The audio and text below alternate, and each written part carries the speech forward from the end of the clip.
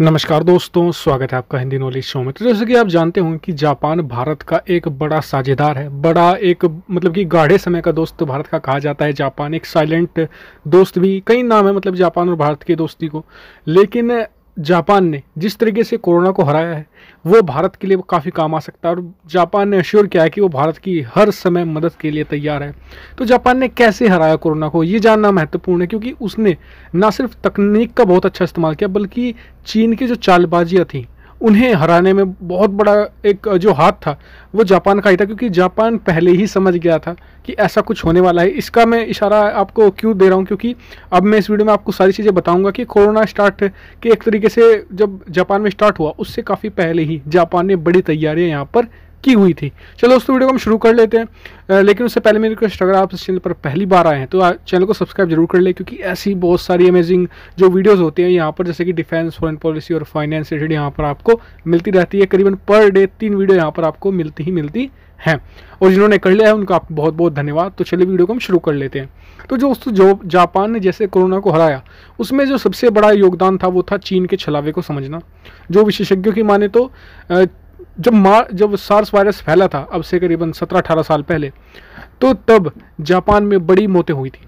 लेकिन उसके बाद जापान संभल गया। जापान ने अपने वहाँ पर बहुत ज़्यादा कानूनों में बदलाव करे और एक इंटेलिजेंस यूनिट भी थी उनके पास कि कैसे, क्योंकि महामारियाँ चीन से पहली बार नहीं आई। हमेशा से ही वो हर दस पंद्रह साल के अंतराल के बाद महामारियाँ दुनिया को देते आ रहे हैं।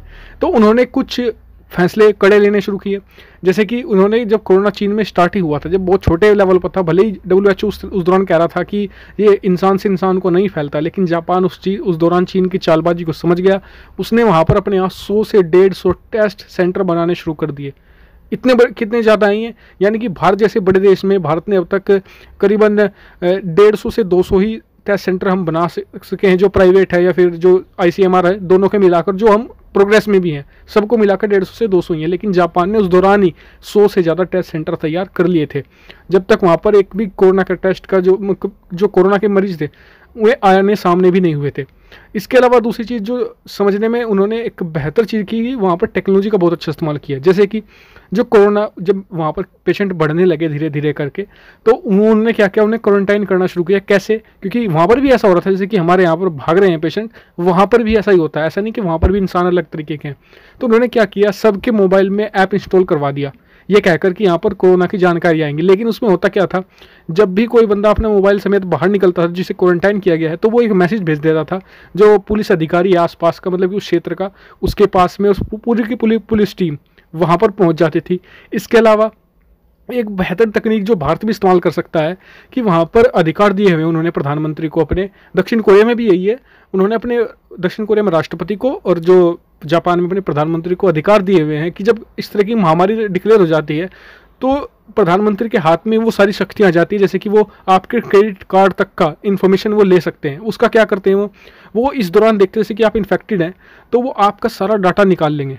सब कुछ निकाल लेंगे, जहाँ जहाँ आप गए हैं, कहाँ कहाँ आपने स्वाइप किया है कार्ड को, आपने मोबाइल कहाँ कहाँ एक्टिव हुआ है, सारी की सारी चीज़ें आपकी उनके पास डाटा में होंगे और फिर वो ट्रैक करेंगे उस चीज़ को कि कौन आदमी कहाँ पर पहुँचा है।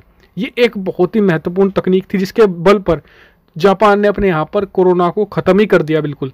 जी हाँ वहाँ पर बस अब गिने गिने चुने पेशेंट हैं, जो एक तरीके से जो साइलेंट स्प्रेडर होते हैं, यानी कि जिनके अंदर सिम्टम नहीं होते, अब वही सामने आ रहे हैं। तो उन्हें भी आसानी से टैकल करने में कामयाब हो रहा है यहाँ पर जापान। शुरू में थोड़ा ऐसा नहीं कि वहाँ पर गलतियाँ नहीं हुई, गलतियाँ वहाँ पर हुई, लेकिन वो प्रशासनिक तौर पर गलतियाँ हुई थी। जो वहाँ पर मेडिकल एक्सपर्ट्स थे, उनके वहाँ पर गलतियाँ नहीं हुई थी। तीसरी चीज़ उन्होंने क्या की?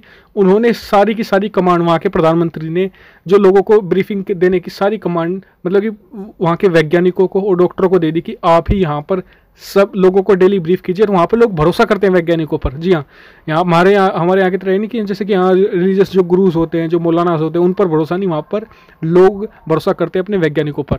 और उन्होंने उनकी एक एक बात को माना। तो दोस्तों, ये एक बड़ी कामयाबी थी जापान की इसे लगातार कंटिन्यू करे हुए है जापान। हालाँकि वो रिसर्च में भी आगे बढ़ रहा है, जिससे कि जल्दी से जल्दी इसे, इसके लिए वैक्सीन तैयार की जाए। तो भारत इससे क्या सीख सकता है? भारत बहुत सारी चीज़ें सीख सकता है। जी हाँ। और भारत की मदद के लिए तैयार भी है जापान। उसने कहा कि हमारे यहाँ पर संकट खत्म हो चुका है तो हम आपके लिए सप्लाई जो भी आप कहेंगे, अगर भविष्य में आपको वेंट जैसे कि वहाँ की सुजुकी कंपनी जो भारत में भी काम करते हैं, उन्होंने कहा कि अगर ज़रूरत पड़ी तो हम अपने सुजुकी जो फैक्ट्रीज है, इनमें हम वेंटिलेटर तैयार करके भारत को सप्लाई करने को तैयार हैं भारत के लिए पूरी मजबूती के साथ खड़ा है यहाँ पर जापान। जी हाँ दोस्तों तो यही एक इनकी कहानी थी छोटी सी जो मैं आपको बताना चाहता कि जापान ने कैसे खत्म किया कोरोना को और भारत भी इससे बहुत कुछ सीख सकता है। आपका क्या इस पर व्यू है? क्या भारत में भी ऐसी शक्तियाँ हमें अपने प्रधानमंत्री को दे देना चाहिए? हालाँकि बहुत मुश्किल काम है क्योंकि हमारे यहाँ की मीडिया ही ऐसे मतलब कि हो हल्ला करना शुरू कर देंगे कि जी प्रधानमंत्री को लोकतंत्र खत्म करवा दिया ऐसी चीज़ें।